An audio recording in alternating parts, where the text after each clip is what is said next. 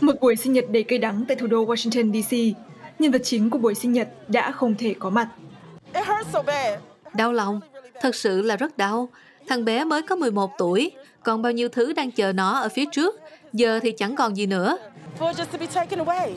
Cậu bé học lớp 6 Devon McNeil thiệt mạng sau khi trúng một viên đạn lạc ngày 4 tháng 7 năm 2020, đúng ngày độc lập của nước Mỹ. Bốn nghi phạm có vẻ như đã tham gia một cuộc thanh toán băng nhóm, bị bắt trong khi quá trình điều tra tiếp diễn. Điều này xảy ra với quá nhiều gia đình tại DC. Tại sao chúng tôi cứ phải ở đây khóc thương cho những người mình yêu, đặc biệt là lũ trẻ? Bất chấp việc chính phủ liên bang đã chi hơn 60 triệu đô la nhằm giảm số vụ giết người, nhưng nếu chưa tính những vụ tự sát, năm 2020 chứng kiến 19.000 vụ giết người bằng súng, cao nhất trong 20 năm qua.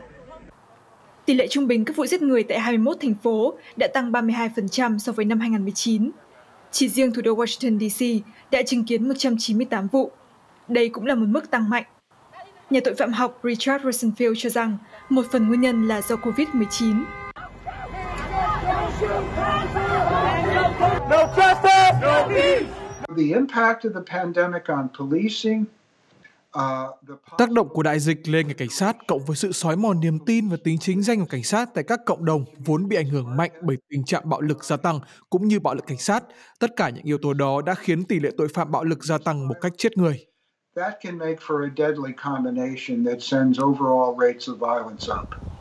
Một trong những chiến lược nhằm kiềm chế tội phạm, thuê mướn những người được gọi về cái tên người ngăn chặn bạo lực. Mẹ của Devon, Crystal McNeil, từng làm công việc này cho chính quyền DC. Bà xây dựng mối quan hệ trong các khu vực có vấn đề và động viên người dân từ bỏ vũ khí. Còn ông của Devon lãnh đạo nhóm Thiên thần hộ mệnh DC. Những người này có cùng một cách tiếp cận vấn đề. Tuy nhiên, dù họ dũng cảm đến đâu, những sáng kiến nhằm vươn ra cộng đồng gặp nhiều khó khăn do nguồn lực hạn chế, cũng như thủ tục hành chính dườm ra. Và kết quả đạt được cũng không khả quan, một phần là do những vấn đề cốt lõi, tình hình kinh tế và phân biệt chủng tộc vẫn tiếp diễn.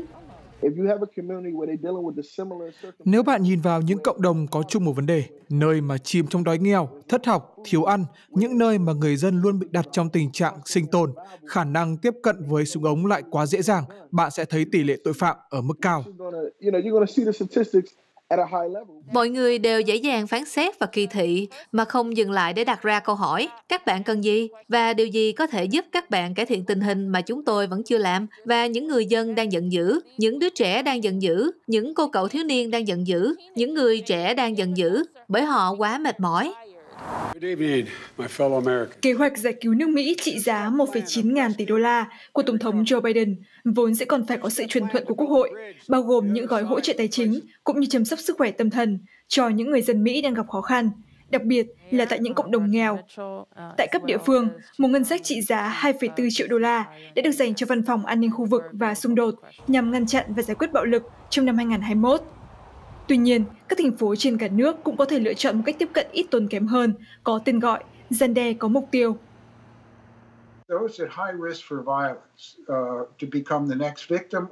Những người thuộc nhóm có nguy cơ cao trở thành nạn nhân hay kẻ thù ác tiếp theo thường được mời đến những cuộc gặp mặt do các nhóm chống tội phạm cũng như dịch vụ xã hội tổ chức và họ nhận được hai thông điệp. Thứ nhất là này, rõ ràng là chúng tôi biết bạn là ai đấy. Thông điệp thứ hai là đây là những dịch vụ cũng như hỗ trợ cần thiết và về cơ bản lựa chọn nằm trong tay các bạn. Sau khi mất đi người cháu của mình, bà Ayala muốn loại bỏ các loại vũ khí bất hợp pháp ra khỏi đường phố và hệ thống tòa án xem xét lại việc thả bớt tù nhân vì lý do Covid. Một người trong số đó bị nghi có tham gia vào vụ bắn giết vốn cướp đi sinh mạng của Devon. Có rất nhiều phạm nhân phạm các tội về bạo lực và súng ống đã được tại ngoại và giết thêm nhiều người hệ thống tòa án cần phải thay đổi. Nào các vị quan tòa, các vị cần làm nhiều hơn thế.